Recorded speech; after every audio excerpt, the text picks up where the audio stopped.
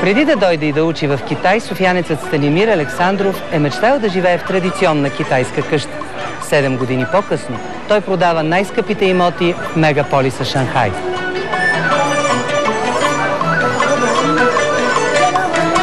Реших да дойда тук преди доста години, за да мога да, да имам по-голямо предизвикателство, защото повечето ми са студенти, учат в Америка, в Западна Европа и в Китай ми се струваше нещо много далечно и екзотично и в същото време много трудно. Аз обичам предизвикателствата и реших да дойда в Китай.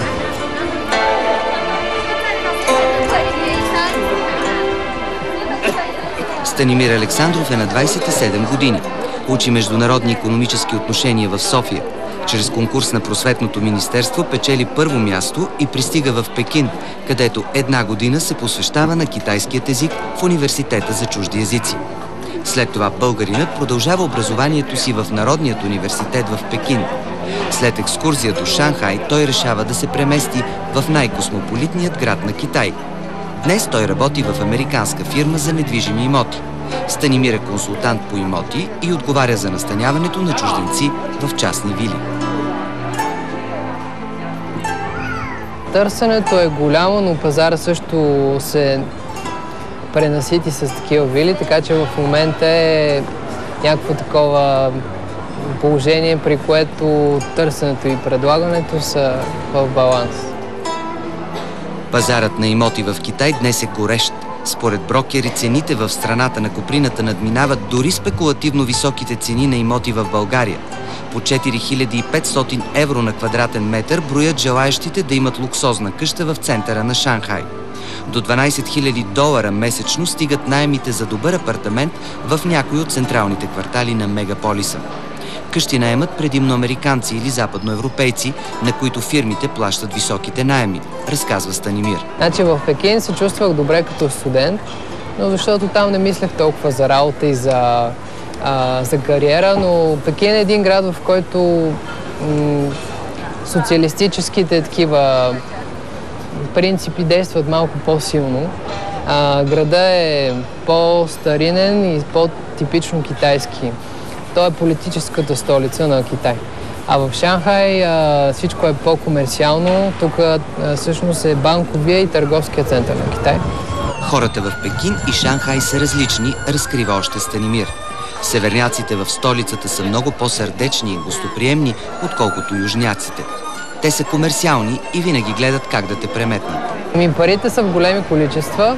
Доколкото така, имам а, познания за Китай, всичките пари от Китай се вливат в Шанхай и съответно в Пекин.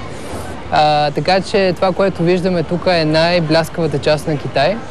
И това се дължи на факта, че просто огромна държава вливат всичките си пари на едно място и това е Шанхай.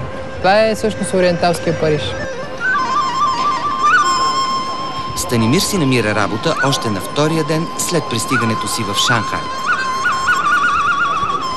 Китайците са добре настроени към чужденците, много ни уважават и това е причина много чужденци да харесват Китай.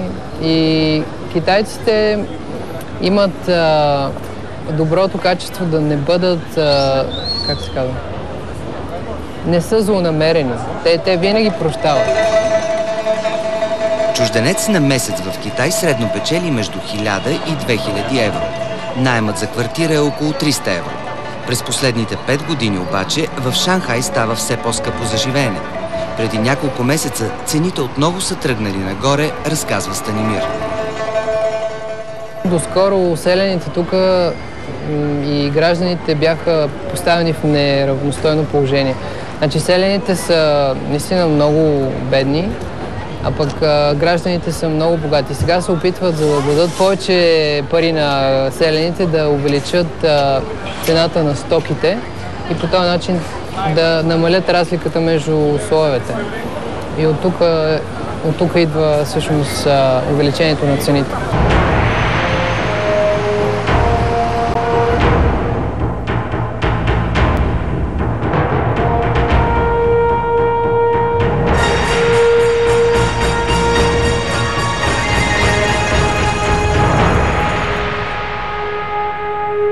Каква е конкуренцията? Един българин може ли така равностойно да се впише в конкуренцията от американци, германци, французи?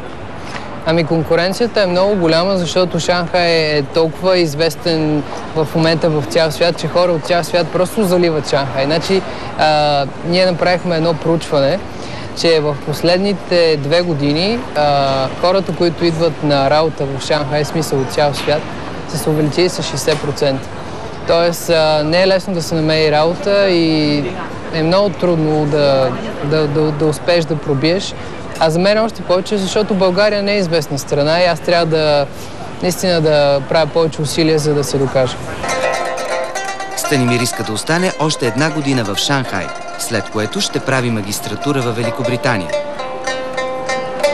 Това място се казва Чън Хуанг Мяо. Това е един храм, за който съм чувал две теории и те са такива. От преди 600 години а, тук това е бил центъра на Шанхай. И а, на, на това място е бил храма на пазителя на градът. Друга теория твърди, че това свещено място е храмът на Бога на земята.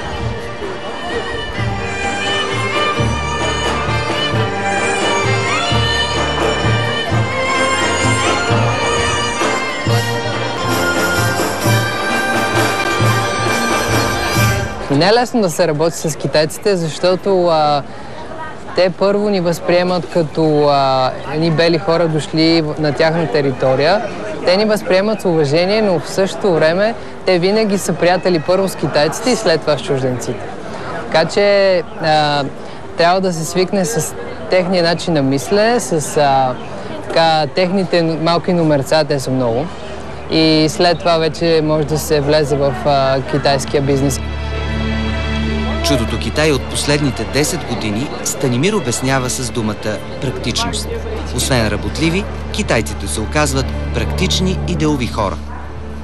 Китай е привлекателен с това, че въпреки, че се развива толкова бързо, все още е много екзотична страна. Има една фраза на китайски, която винаги ще запомна. Тя е Хуанинг Тао Бейджин Лай. Тоест, добре дошли в Пекин. А, като пристигнах в Пекин, имаше моменти, в, когато, в които а, наистина се чудех дали това, което правя в момента, това, че живея и уча а, в Китай е добро решение и всеки път като така се двума, си повтарям това нещо. Добре дошли в Пекин.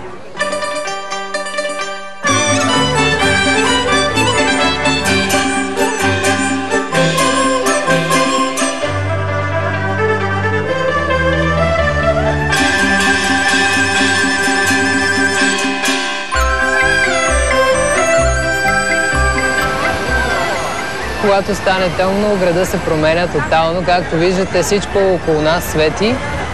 И а, това е истински облик на Шанхай.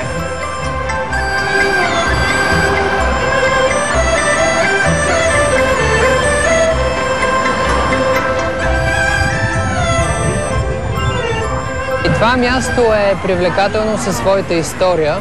А, тук а, преди повече от а, 80 години са дошли първите западни, изобщо чуждестранни кораби и това е било всъщност порта или пристанището, където е ставала търговията между изтока и запада. И всички тези сгради, които ги виждаме, са били банки, построени от чужденци.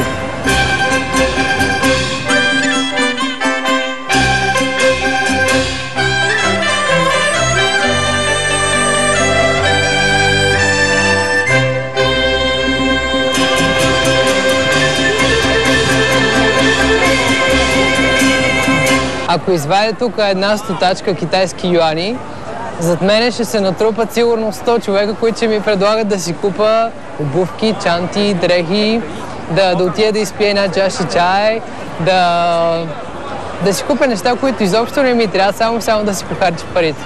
Естествено, тук е пак голяма лудница, много е шумно, но то това му е интересно.